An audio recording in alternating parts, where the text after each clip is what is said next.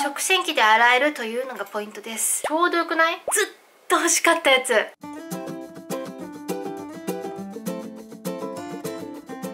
んにちは、くまみきです。えー、っと、もう、あれですね。部屋が汚いことにはみんな慣れてきた頃だと思います。あのね、今日やっと無印から家具が届くんですよ。で、少し片付くから、ちょっとマシになるかな。で、また次の週に無地の家具が届くんで、ばらけちゃって。そう。だからね、そういう棚が来れば少しはね、片付くかなと思うんですけど、今日ね、家具以外にもちょっと無印行ったらすっごく欲しかったものが手に入ったので今日はね購入品紹介やっていきたいと思います。で家具なんですけど家具はまずこちらの木製チェストっていうのを買いました。ちょっとこれちゃんと見せるのはルームツアーとかそういう時にしようかなと思うんですけどパッと見ね洋服入れる用のタンスかなーって感じでまあ公式サイト見ても確かに洋服を収納してるんですけど私はこれをキッチンに使おうと思ってます。うちのキッチンあれなんですよね。こう扉型？観音開き型あの釣り戸棚とかあのシンクの下とかそういうところが全部それになってて引き出しがないんですよ。で引き出しの方がねいろいろ収納ねこうお皿とか取り出しやすいだろうなと思って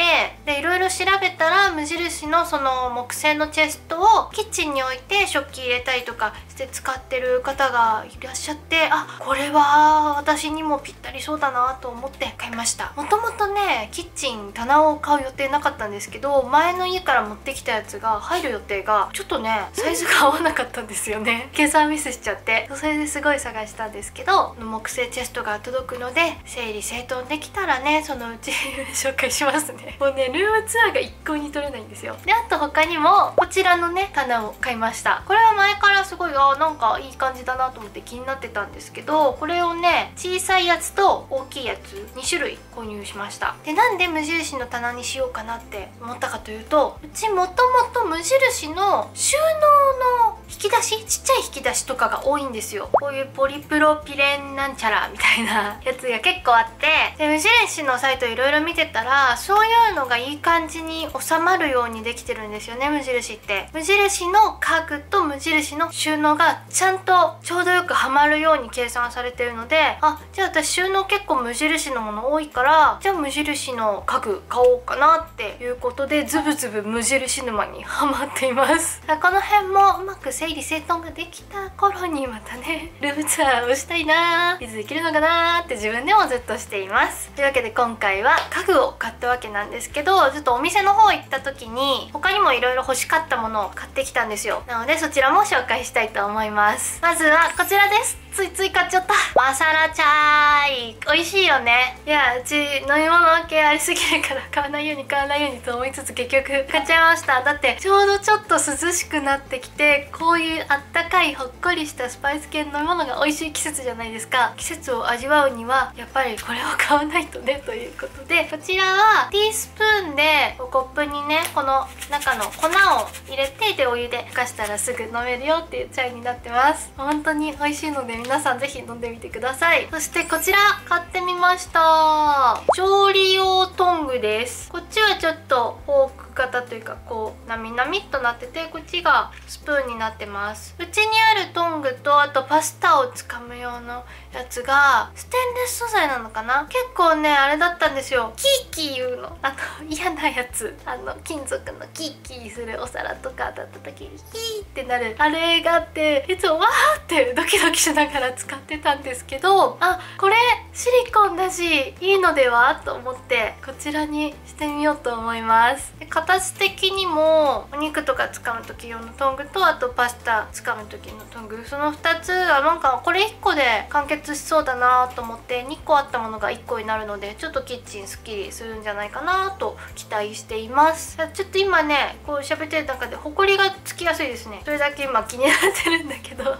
使ってみます。そしてこちらを買いました。2個買った食洗機で洗えるお箸のメープル。私が買ったのは2 1 1ンチですね。もう1個もうちょっと長いやつ。2 3センチかな。長さが種類あったんですけど私割とまあちっちゃい方が使いやすいかなということで2 1センチにしました。でまあ2膳ぐらいあればいいかなみたいな感じで2膳買いました。あのですね食洗機で洗えるというのがポイントです。うち食洗機あってで食洗機買う前から持ってる食洗機本当は多分ダメなお箸を普通に食洗機で洗ってたんですよ。これはもう自己責任で。でまあ全然いけたんですけどさすがにちょっとボロくなってきたなと思って最近ずっと探してたんですよ。で見た目的にこれだーっていうのがなかなかなかったりとかあと可愛いけどなんか5000ぐらい入ってていやそんなにいらないみたいな。ちょっとそんないらないなとかでなかなか買えてなかったんですけど最終的にね結局この無印のドシンプルなお箸を買いました。色味も明るくてすごい私好みだし意外とお値段ちゃんとしてるなと思ったんですけど、まあ、長く使えることを期待して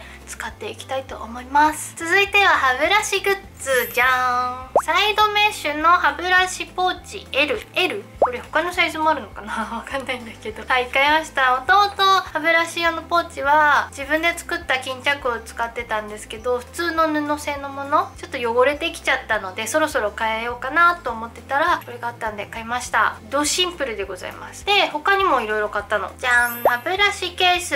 ドシンプルですね。開けるとこの両端のところにちょっと穴が開いてます。もちろんこれはちょうどいい感じに入るサイズ。もう一個歯磨き関係で使いたいなって思ったのがこちら。モノケース S これは特ラシ用とかではないんですけど私がいつも使ってるこちらの歯間ブラシこれがちょうどよく入るのを探してて家で使う時はいいんだけどこう外に持ち歩く時入るのが欲しくて買いました。ちょうどよくない？